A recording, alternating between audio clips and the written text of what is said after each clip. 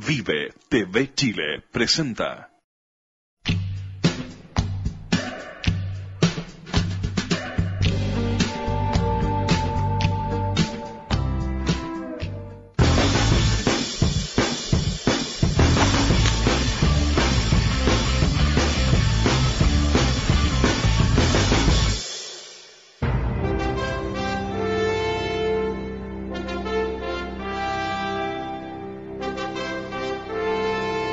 Este personaje sí que lo conocemos todos los chilenos y muy bien. Don Bernardo Higgins, considerado uno de los principales impulsores de la independencia nacional, Bernardo Higgins Riquelme es una figura polémica de nuestra historia. Para algunos, un dictador, para otros, libertador. Sin embargo, su aporte fue innegable para la consolidación de la nueva nación.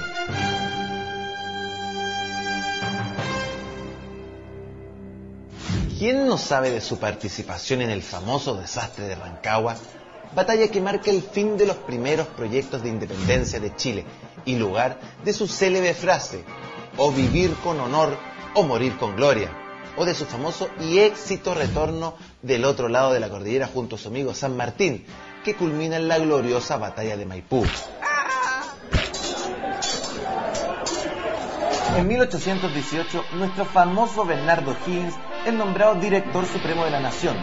Junto a ello, empieza a desarrollar nuevas obras en Chile, como el Mercado Central, el Cementerio General y lo que hoy en día se conoce como la Alameda de las Delicias.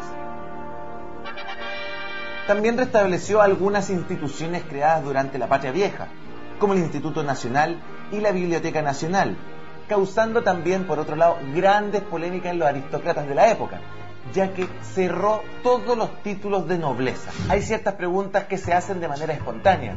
¿De dónde viene Bernardo Higgins? ¿Cómo llega a participar de estos hechos importantes en la historia de Chile? Y principalmente también, ¿qué lo motiva a participar de todo esto? Hoy nos internaremos en la infancia y juventud de este ilustre prócer chileno, un hombre letrado e influenciado por las ideas de la ilustración, hijo de uno de los hombres más importantes de la corona española en Chile, el gobernador de origen irlandés, don Ambrosio Higgins. Apuesto que muchos de ustedes no sabían esto. ¿Quién era este enigmático personaje? ¿De dónde nace este espíritu revolucionario y libertador? ¿Qué es lo que le apasionaba tanto de Chile a este joven O'Higgins?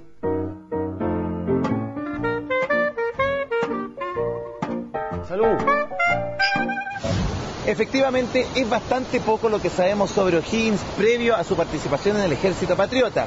Pero es precisamente en esta región y en este lugar donde queremos conocer cómo fueron sus inicios en los cargos públicos, en la política, y también saber cómo fue su relación con el pueblo pehuenche, ya que como algunos saben, participó de la logia lautarina en Europa.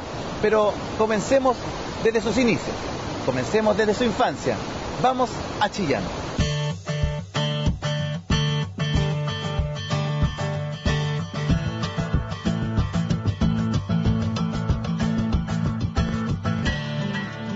Armando, tengo una teoría. Creo que la vida de Bernardo Higgins debe haber sido extremadamente difícil. ¿Y por qué te lo digo?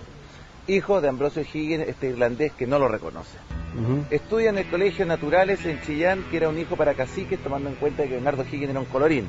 Y tercero, desde muy chico tiene que viajar por el mundo a estudiar, entonces era un tipo que estaba muy desarraigado. ¿A dónde pertenecía O'Higgins? Es verdad que tuvo una infancia difícil porque estuvo en Talca varios años, en Chillán y después incluso en Lima educándose. Y sin embargo, él se sentía un chillanejo. Eh, vivió en su infancia cerca de esta plaza donde estaba la, la casa de sus padres. Así que a pesar de que él se proyectó como una figura americana, él siempre entendió que su raíz, su matriz era biobana y sobre todo chillaneja.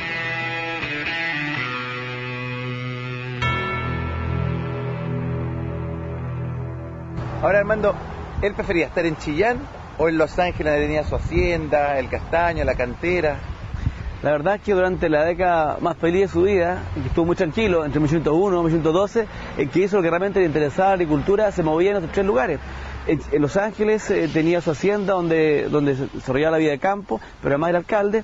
En Concepción conspiraba con los Prietos, con los Serranos, y también con Martínez de Rosas, y acá en Chillán tenía la vida familiar, estaba acá su hermana, su madre, los Riquelme, él se sentía muy vinculado a toda esta región nuestra.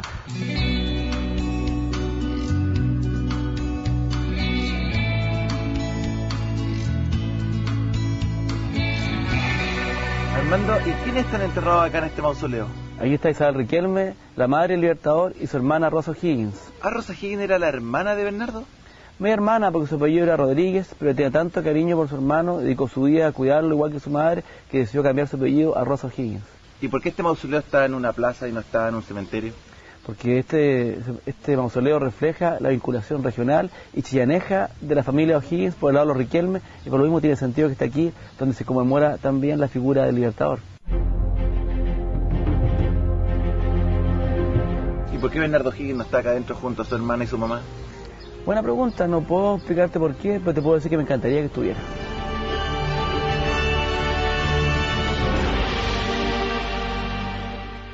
¿Por qué Ambrosio no se quiso casar con Isabel Riquelme tomando en cuenta que era hasta casi 30 años menor que ella, que él, era de una familia aristocrática acá de la zona y era buena moza?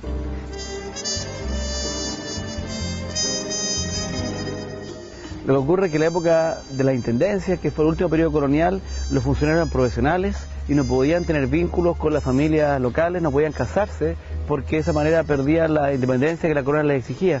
Así que esa es una de las razones que no se casó. A lo mejor tampoco la amaba, no te puedo decir eso.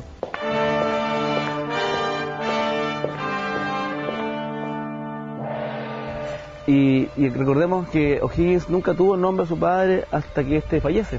Siempre se firmó como Bernardo Riquelme, haciendo honor a la familia materna. Claro. Y cuando muere su padre, él le demanda para obtener los títulos de nobleza a su padre, que son el, digamos, eh, el Marqués de Osorno y Barón de Balenari, y por supuesto el apellido. Y solo obtiene el derecho al apellido y pasa a firmarse en adelante Bernardo Higgins, pero no, no recupera nunca los títulos.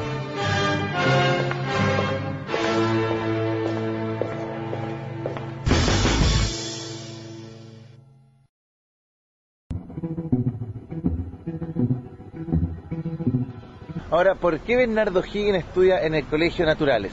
¿Es porque hijo natural acá en Chillán? No, no, no, el Colegio Naturales es un colegio para los hijos de caciques, los naturales son los indígenas, un colegio que se establece por orden de la corona con los franciscanos para los, los caciques eh, mapuches, pero también con una sección para hijos de familias nobles, notables, chillán, y por eso un hijo de los Riquelme estudia con ellos. Ahí se produce el encuentro de O'Higgins con el pueblo mapuche, que se mantiene por siempre y aprende el mapudungo, y también su relación con ciertos sacerdotes como Rosaura Acuña y otros más, que son revolucionarios y con los cuales se encontrará después en su época de, de- de patriota y libertador. En 1795 fue enviado a Europa para perfeccionarse en la Academia Católica de Richmond, donde conoció importantes personajes como Francisco de Miranda, quien le inculcó la necesidad vital de una patria independiente. De regreso al país en 1802, se enteró que su padre había muerto un año antes y que le dejaba algunos de los bienes que poseía en el territorio, una casa en Santiago y la hacienda de San José de las Canteras, ubicada a algunos kilómetros de la ciudad de Los Ángeles.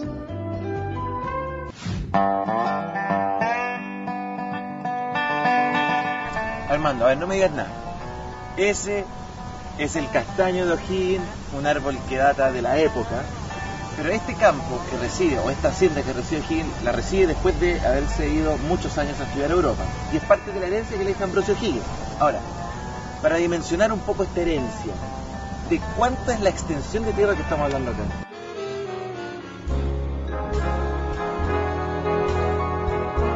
Era, bueno, en la época que la recibió eran eh, 17.000 cuadras, que son como 20.000 hectáreas actuales. 20.000 hectáreas. Un campo enorme. Era un campo de cordillera, con lo que significa eso. O'Higgins en una década lo desarrolló, creó potreros, abrió caminos, hizo plantaciones con arados de hierro. Incluso construyó una casa muy hermosa en este mismo paño que estamos acá, al lado del, del castaño, y donde pasó, yo te diría, los únicos años felices de su vida, porque recordemos que pasó una infancia muy desarraigada, 20 años de exilio, y en cambio estos 10 años de agricultor, entre Chillán, Los Ángeles Concepción, fueron sus mejores años. Ahora se dice también que este O'Higgins agricultor trajo tecnologías que aprendió en Inglaterra, como el arado en metal y esas cosas. O sea, O'Higgins fue un tipo moderno, avanzado a su época, un gran emprendedor, que promovió la navegación de los lagos, de los ríos, promovió la máquina de vapor y trajo también arados metálicos, trajo caballares. Lamentablemente todos esos intentos modernizadores finalmente quedaron atrás con la guerra. Ahora, O'Higgins aquí empieza a instalar ya lo que es su camino en la política. Claro, porque en esta década él fue primero, en la época todavía del dominio español, su delegado en Laja. ¿Ya? Después fue regidor por la zona de, de, de Chillán alcalde en Los Ángeles y de ahí para ser diputado por la ciudad de Los Perdón, Ángeles. ¿O'Higgins fue diputado, me estás diciendo? Pero claro, fue elegido por aclamación en Los Ángeles al primer Congreso Nacional, una historia interesante que también deberíamos comentar. Ah, yo quiero escuchar por favor esa. Diputado por aclamación.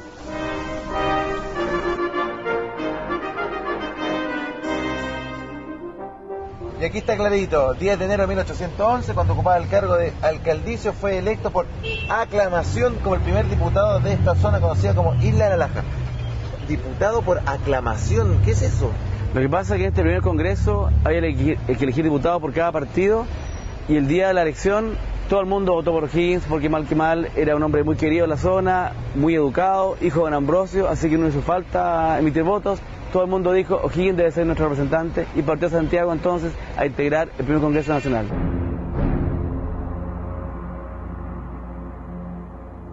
Ahora, ¿me puedes explicar algo? ¿Por qué el papá de Bernardo O'Higgins, Ambrosio O'Higgins, ¿Mm? irlandés, trabajaba por la corona y estaba en Chile?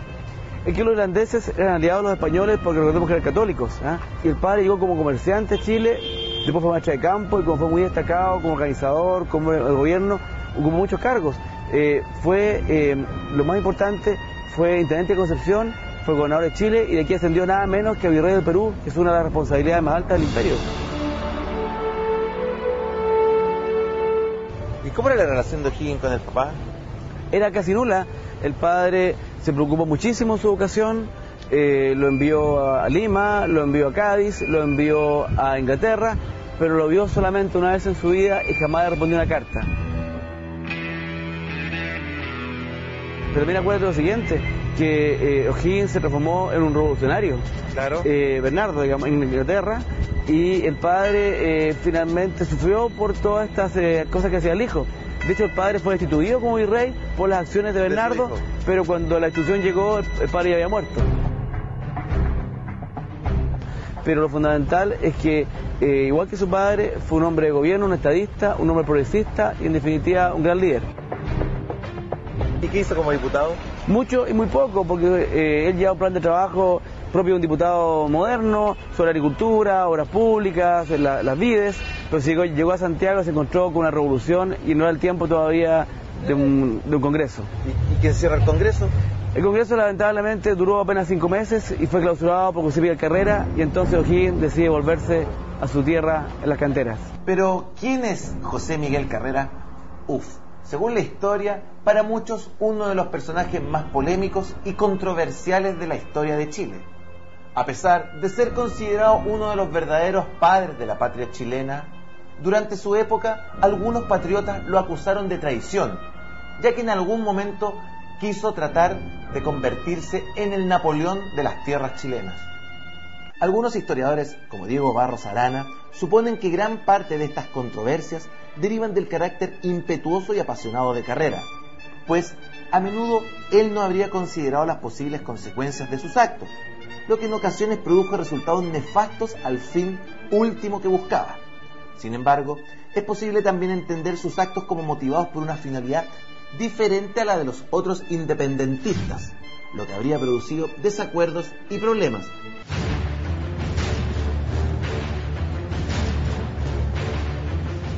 Oye Armando, pero ¿por qué estamos en este lugar?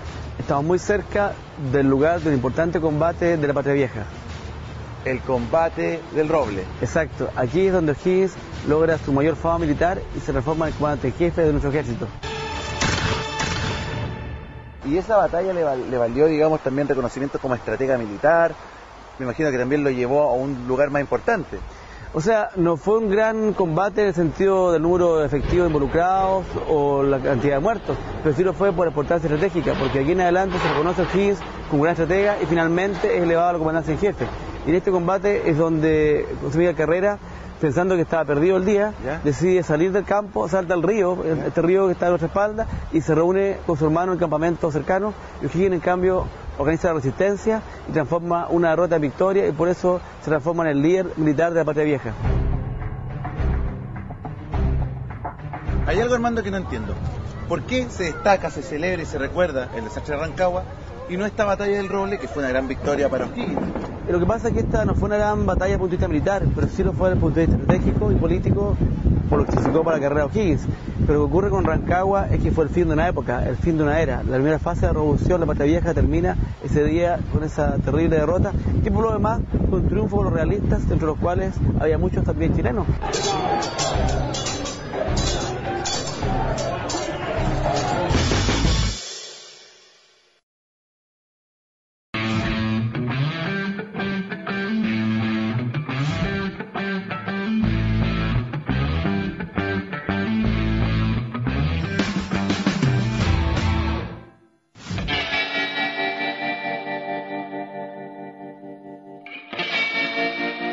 Hoy Armando nos encontramos en Santa Bárbara, muy cerca de lo que era la hacienda de don Ambrosio Higgins, que posteriormente heredó Bernardo Higgins.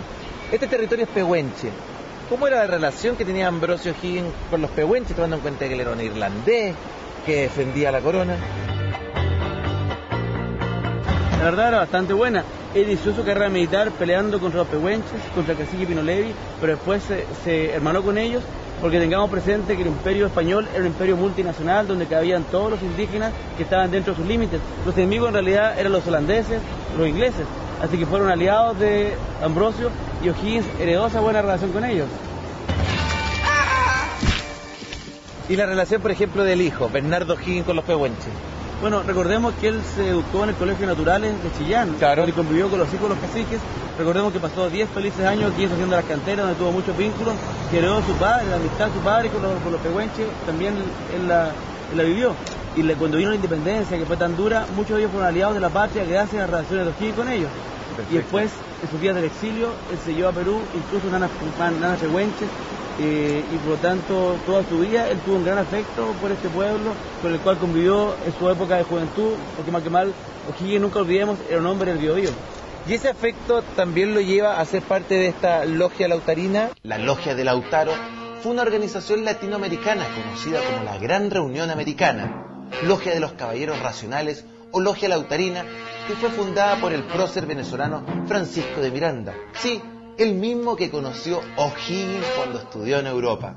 La logia tuvo por finalidad lograr la revolución de la independencia de Hispanoamérica de la corona de España y en base a los principios del liberalismo, establecer un sistema de gobierno republicano y unitario. Surge de la imagen mítica de los indios americanos resistiendo a la conquista Perfecto. española del siglo XVI y por eso se eligen estos personajes araucanas, del cual el principal es Lautaro. Eh, viene un poco de ahí y su nombre no lo define O'Higgins, si lo definen en realidad Lautaro es un personaje de estatura continental porque para todos los americanos representa esta resistencia.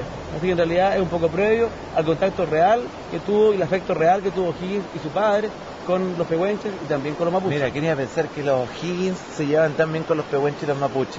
Pues era aliado al cacique Pino Levi y a su compadre. La llegada de Ambrosio Higgins a Chile en 1768 coincide con uno de los periodos más críticos de la guerra hispano-pehuenche.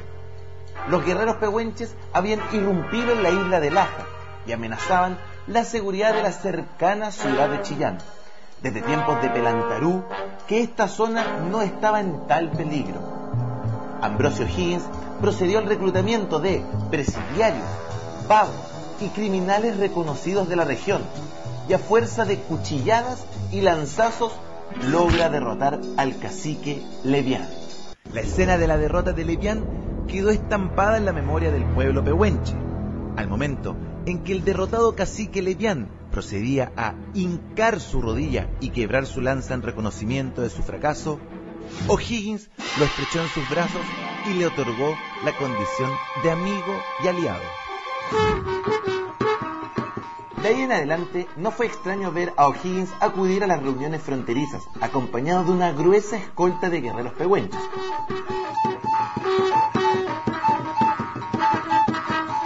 Nos encontramos en la comuna de Chihuayante, precisamente en el Museo Stom.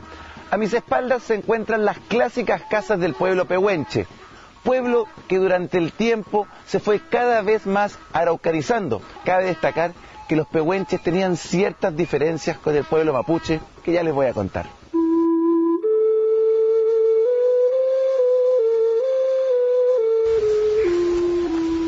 Oye Armando, pero estas casas son muy distintas, pues tienen tejas de madera muy largas, son construcciones sólidas, a diferencia de las otras casas que hemos visto de los mapuches que son de paja, que son, digamos, rucas.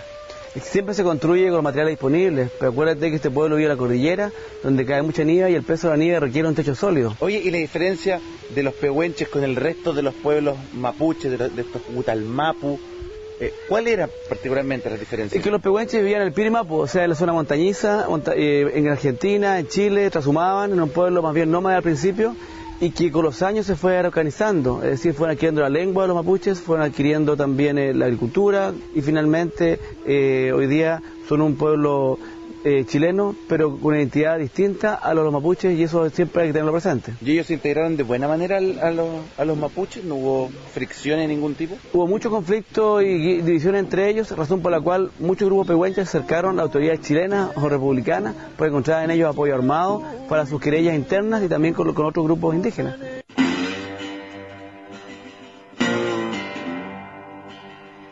Esto te quería mostrar, Gonzalo, mira. ¿Qué te parece aquí sorprendente? Lo que me parece sorprendente acá, desde Trarilonco, ¿cómo se llama? Trarilonco se llama este cintillo. Las monedas. Claro, son monedas coloniales o bien monedas republicanas chilenas, lo que te demuestra un poco la culturación y el, cruce entre ambos grupos, entre los hispano-criollos y los mapuches. O sea, los hispano-criollos le pasaban estas monedas y los mapuches hacían eh, sus joyas su artesanía con esas monedas. Bueno, este extraordinario trabajo metal de los mapuches fue posible gracias a, los metales que obtenían en su intercambio con chavos con los chilenos o con los españoles en su época. ¿ah? ¿Y qué daban los mapuches hacia los españoles? Ah, eso es interesante. daban esto y los mapuches que le daban a los españoles. ¿Soporte fue igual o incluso mayor? Vamos a mirarlo.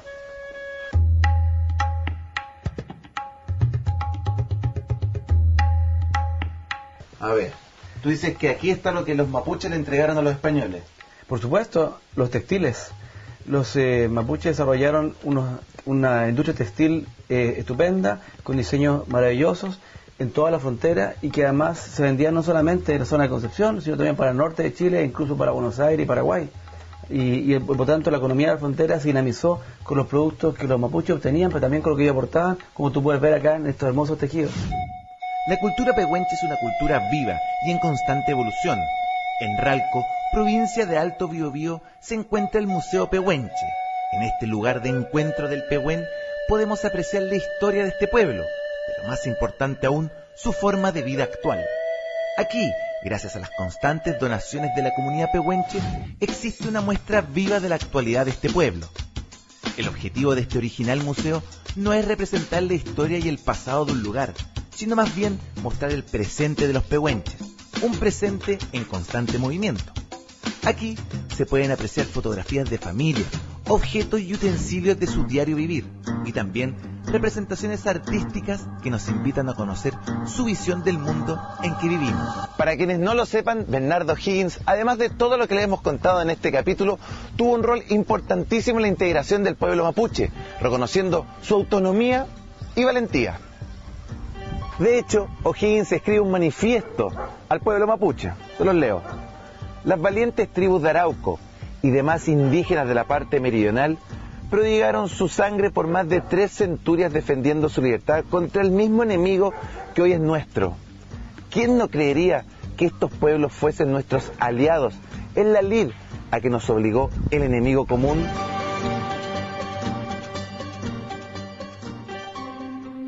Araucanos, cunchos, huilliches y todas las tribus indígenas australes ya nos habla un presidente que siendo solo un siervo del rey de España, afectaba sobre vosotros una superioridad ilimitada.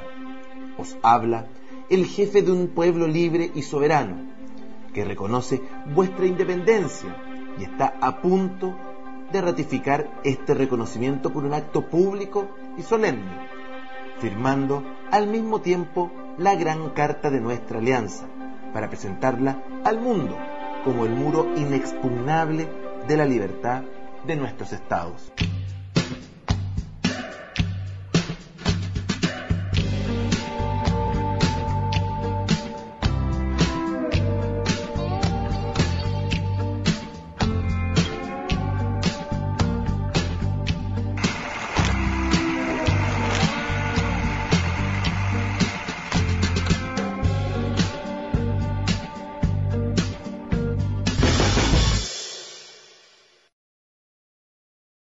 Chile avanza con todos.